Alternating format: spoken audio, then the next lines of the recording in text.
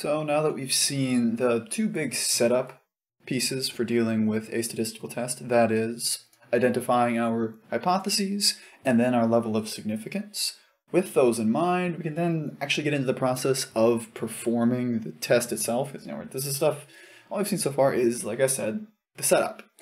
And going from here, what we need to do is actually get the information we're going to use to perform our test. That is, we need to collect our sample, sample of whatever it may be. In those earlier examples, it may have just been people we were asking, or maybe you take measurements of things. Whatever the sample is going to be, that's what you would do next in terms of our problems for homework, that sort of thing. It's going to be given information, but uh, imagine you did all that work, or imagine someone did all that work anyway. And then from there, we draw our statistics for comparison, which we call our test statistic in particular. And I'll say that I have trouble with that statistic, that stuff just runs into each other. I sometimes say test statistic, just I don't know what that is, but bear in mind it'll happen. Anyway, when we're running our test, as it were, we need the statistic that we can compare the parameter that is supposed to be working, that's supposed to be as we expect, to the reality of our sample. If we're looking at a parameter mean mu, then we will draw something like x bar to compare it to. If we're looking at a proportion, as we'll see in 7.4, we'll have the value p that will compare to the value p hat. If you do some of the extra work, you'll see things you can do with comparing sigma, the population standard deviation, to s, a sample one, and then Similarly, we'll get into chapter 8 how you can do things with comparisons between different parameters using samples. And then in chapter 9, we'll look at a thing called the correlation coefficient in terms of the sample correlation coefficient, which has the letter R, but that's not for a while yet.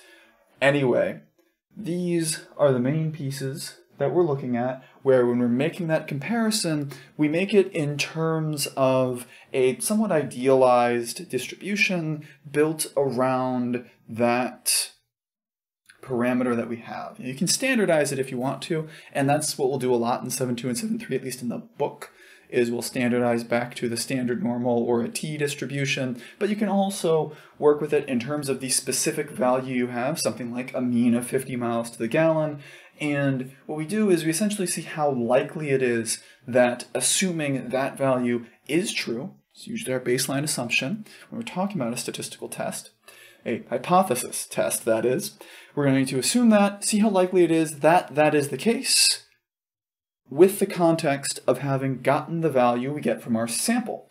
So if we have that value 50, we can use the information we have to see how likely, unlikely it is that our sample came with a value of 51 or 55 or 80 or whatever you have.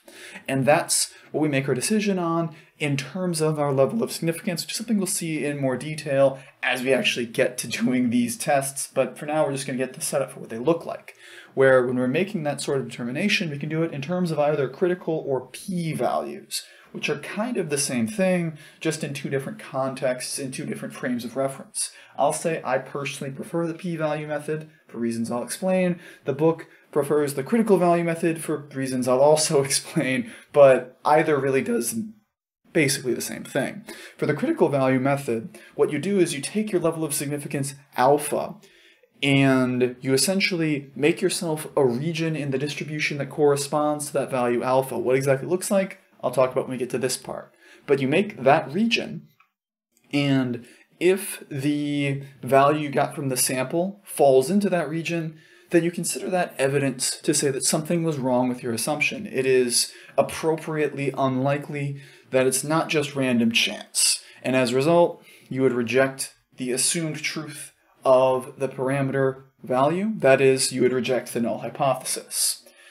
Similarly, if we want to deal with p-values, what you do is instead of focusing on the region defined by the level of significance, you make a region based on the test statistic, where what you do is you take that test statistic and you find the likelihood of getting anything more unusual than that.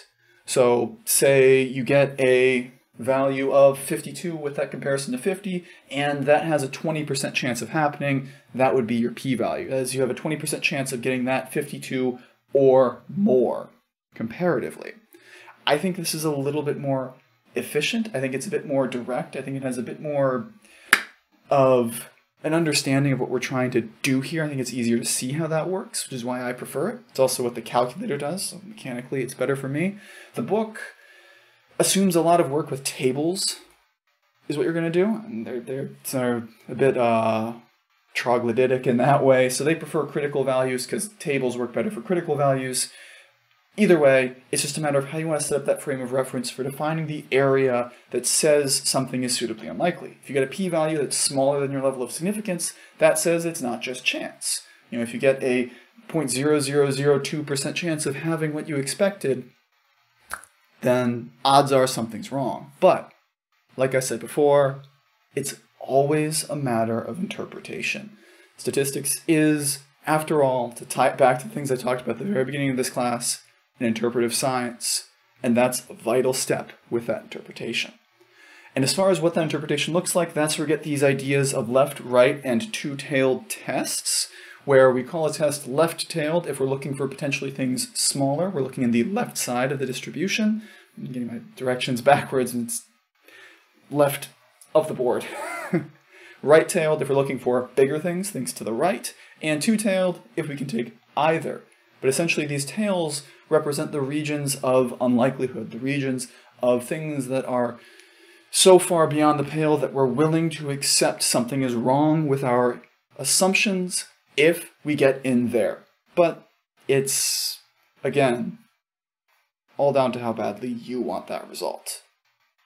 Anyway, this is more setup. Next, we're going to continue on with this train and talk about what we actually means. I mentioned it a little bit in terms of making those decisions to reject, not reject a few times by now, but we'll see that a little bit more next. And then finally get to defining our steps before moving on into our next few sections of this chapter to properly perform a test. There's a lot of setup, we still haven't gotten to that yet, but trust me, this stuff's worth getting good at.